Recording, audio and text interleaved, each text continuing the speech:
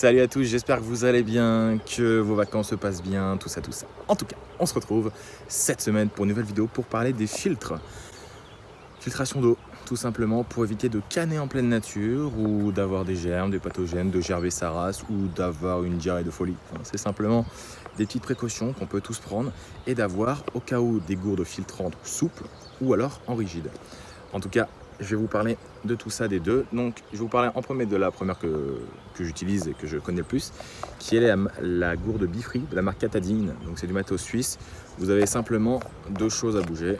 La partie gourde qui est flexible, qui peut se ranger vraiment très simplement.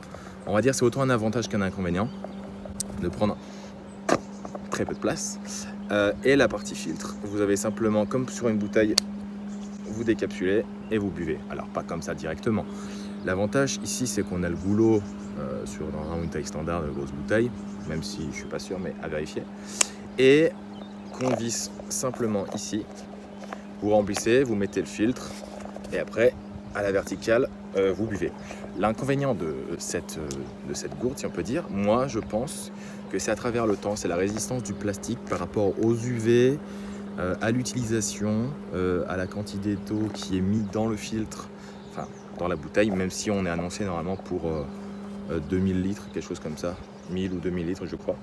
Donc on est sur une contenance d'ailleurs de 1 litre, ce qui est quand même plutôt propre, ce qui fonctionne plutôt bien. En fait, donc pendant longtemps j'avais cette gourde là dans, dans, mes sacs, je la gardais, même si la plupart du temps je me trimballe avec une gourde en rigide euh, du matos voilà, transparent, donc on, se rapproche de ça. Hein.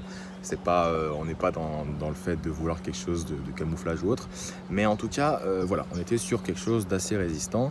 Mais euh, les gourdes transparentes, bah, elles sont pas filtrantes, du coup, emmerdant. Du coup, j'avais évolué sur ça, ce qui va bien. Le seul problème, c'est que, ben, en termes de rigidité, on n'est on est pas sur ça, quoi. Donc voilà, c'est pour ça que je disais autant un avantage qu'un inconvénient. Tu tiens bien, ça bouge pas, c'est nickel, ça le fait. Donc, dans l'idée, euh, ça correspondait à pas mal de choses que j'avais besoin, mais il y avait quand même des petites choses à revoir. Et je me disais simplement, dans le cadre d'un sac d'évacuation, si on a une pochette euh, filtrante comme ça, euh, pas en dur, j'ai peur qu'avec euh, des affaires dans le mouvement, si jamais je tombe ou autre, si jamais ça se perce, bah tu te retrouves avec ta gourde filtrante qui ne peut plus filtrer un trou dedans et tu te sens con. Même s'il y a toujours euh, les petites capsules euh, euh, solubles qu'on met dans l'eau qui permettent de filtrer la flotte. Hein, je, je, teste ça aussi de temps en temps. Ça fonctionne toujours très bien. Vous les mettez donc soit dans de l'eau froide et à ce moment-là, il faut attendre bien deux bonnes heures pour que ça agisse. Et si c'est de l'eau à température ambiante, vous pouvez attendre une demi-heure et boire directement après.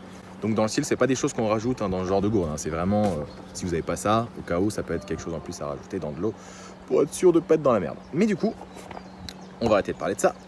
Et du coup, je voulais aussi parler de ce produit-là que euh, je connais que très peu. Euh, on m'en a, pas trop parlé, mais il s'annonce comme quelque chose d'exceptionnel, hein, vraiment comme dans toutes les pubs, 99,99% de que ça dégage tout. Donc justement, à la suite, on va tester ça, voir ça. Je vous ferai un petit retour d'avis si justement euh, une journée, deux ou trois jours après, donc dans le week-end, si jamais j'ai pas canné, euh, bah, c'est que la vidéo, euh, vous verrez la vidéo, hein, voilà, tout simplement.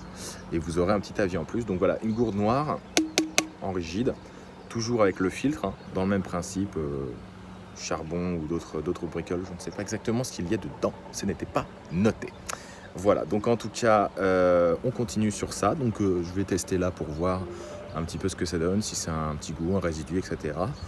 En tout cas, l'idée, moi, c'est que si ce matos-là fonctionne très bien, je le garderai dans un sac d'évacuation. Et l'avantage, c'est que gourde noire, bon, rouge, un peu visible évidemment, mais euh, gourde noire en principal, ça se camoufle peut-être un peu mieux que d'autres gourdes dites transparentes, un petit peu comme ce que je vous ai montré. Donc voilà, on se retrouve à nouveau avec la gourde, juste à côté d'une petite rivière. L'idée, c'est de schématiser l'utilisation de ce filtre, qui est logiquement noté, désolé pour le contre-jour un peu violent, qui est noté dans le sens d'être capable de filtrer toutes les eaux douces, qu'elles soient euh, polluées ou non, dégageant euh, les plastiques, les bactéries, sans bisphénol A, les avantages, moi je trouve. Donc on va essayer euh, ça tout de suite, filtrer, goûter, tester, et puis, euh, Et puis voilà, tout simplement, pas plus compliqué que ça.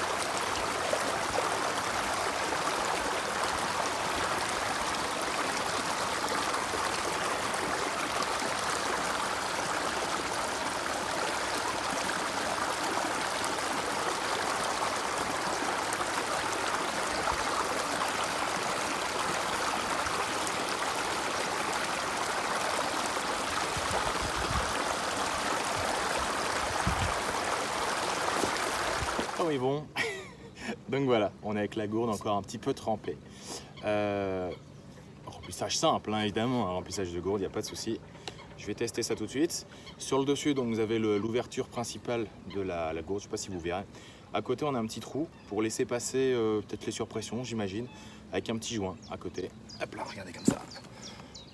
Vous voyez, le trou pour boire, et à côté, où il y a ça qui appuie par-dessus et ça par-dessus. Hop là.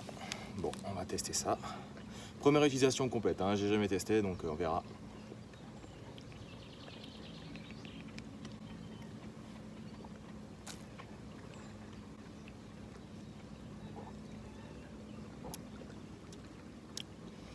Ça dérange pas. hein. En fait, il faut amorcer un peu le système pour que l'eau passe à travers le filtre, et après on le voit tel quel.